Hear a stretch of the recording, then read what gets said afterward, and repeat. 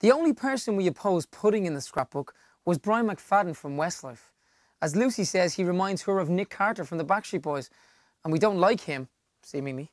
I think it's because Lucy was with this guy once that looked like Nick Carter, and when Lucy ignored him at a youth club disco, he told everyone she was frigid, which, like, massively insulted Lucy because, as she said herself, she's built a reputation on not being frigid.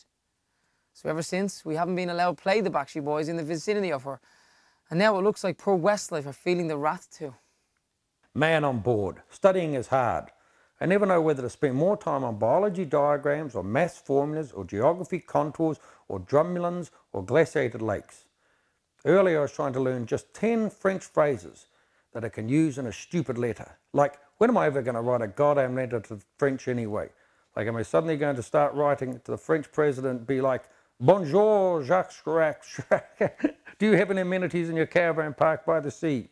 Everyone that's anyone is getting a Brazilian these days. And I'm not talking about Pele or Ronaldo here, dear diary. I'm talking about the lady garden. Me, Lucy and Rebecca always head to SuperValu together to stock up on Immac. But all of a sudden, Lucy comes into school walking funny, which in fairness is like the norm after a weekend for her. But it turns out that she had immacked her nether regions, left it on for too long, and in her own words, burnt the box off herself. Oh God. Oh God. I just had a thought. What if they fall in love and Rebecca loses her virginity to him? What if she loses her virginity before me? No. She's my best friend in the whole world. She wouldn't do that. Would she? All of a sudden, there he was, with teeth as white as when you wash your clothes with Daz, Mike Murphy. It's fair to say, dear diary, that Mike Murphy is indeed a ride.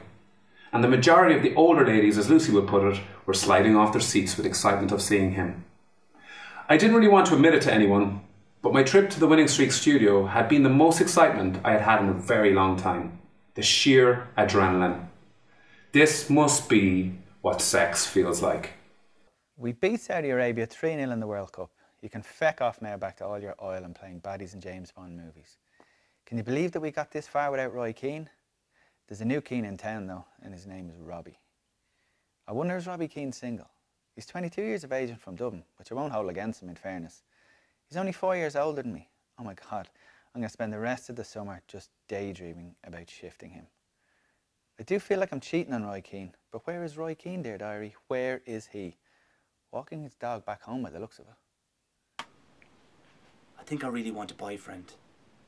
I daydream all the time about finding the one, you know? Like Joey and Pacey in Dawson's Creek, even though I can't imagine any of the lads I know having the vocabulary that Joshua Jackson does. They all have the conversational skills of Lorcan in Fair City, and that's been nice. Sometimes I lie in bed and I listen to hear if God is trying to talk to me. You arrogant so and so.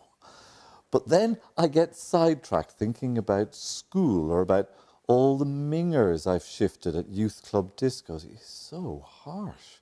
Or about how the delivery guy Doug Heffernan from King of Queens is not hot enough to have managed to marry someone as hot as his wife Carrie in the TV programme. You're kind of right about that. And I just can't concentrate, so I don't know if he has even tried to contact me yet. I live in the back arse end of Connemara. I really don't know how this happened, but it's definitely my parents' fault. I feel like I should be living a different life, somewhere exotic like Summer Bay, where I've been adopted by Irene and lived in her beach house, or maybe even somewhere more exotic, like Limerick. My love life is as dry as the riverbed in a Tokra ad. I've shifted a couple of lads, uh, nothing serious, there's barely be, even been any tongue action. I practice kissing on my arm sometimes so I don't get rusty during my many dry spells. But that's as much crack as Mother Teresa playing Never Have I Ever. I don't tell anyone about my arm kissing because it's really pathetic, even for me.